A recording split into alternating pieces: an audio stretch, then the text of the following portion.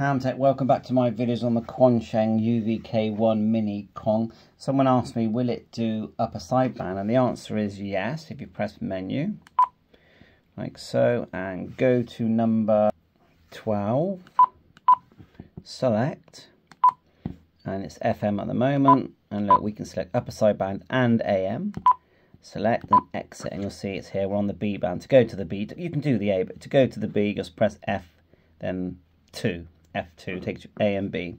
So now let's type in the lowest frequency. Now I've been testing this and it's 018 megahertz, which is, you know, without the SI4732 chip added, I feel like that's pretty much the same as the UVK5.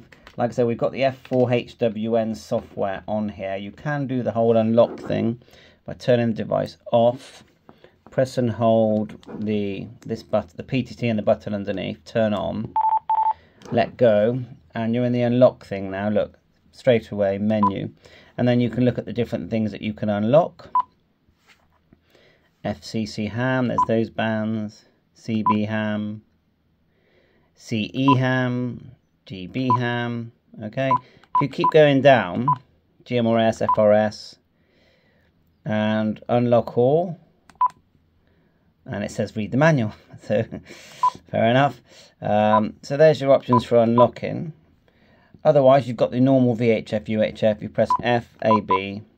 You're on the A band. If you go want to go to VFO F VFO and you can type a frequency now. And um, all your CTCS CTCSS is in there. And usually the squelch is 56 which I think is a very high place to put it um, and it's 56.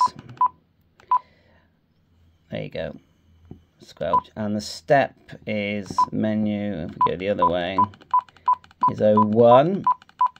CT, CSS and all that's in there. Saving memories on the fly, you can definitely do that. And save channels on the fly. And yeah, I mean, it's, it's, it's like a posh version.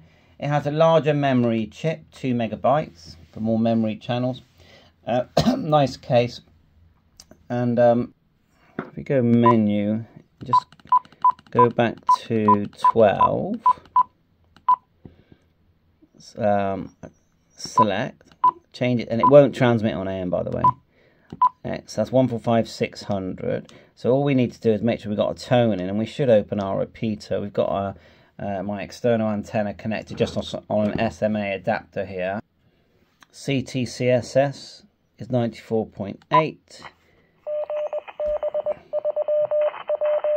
And yeah, receiving that, no problem at all. Lots of information on the screen. And this, with this firmware, you can actually view this on my PC. This screen, you can view it on my PC. There you go. And if I uh, just change on the radio, come on. Big thanks to Armel. Excellent. You can even change the color. Let's do the O and the B. Just pressing the O and the B on my keyboard. And uh, there's going to be new versions. Thanks for watching. And this is a visual thing. At the moment, I can't hear it.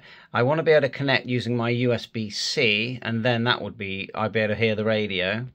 But at the moment, I'm just finding that when I do it that way, uh, it will do other things. Uh, but it's I can't see the frequency. But anyway, thanks for watching. Bye for now.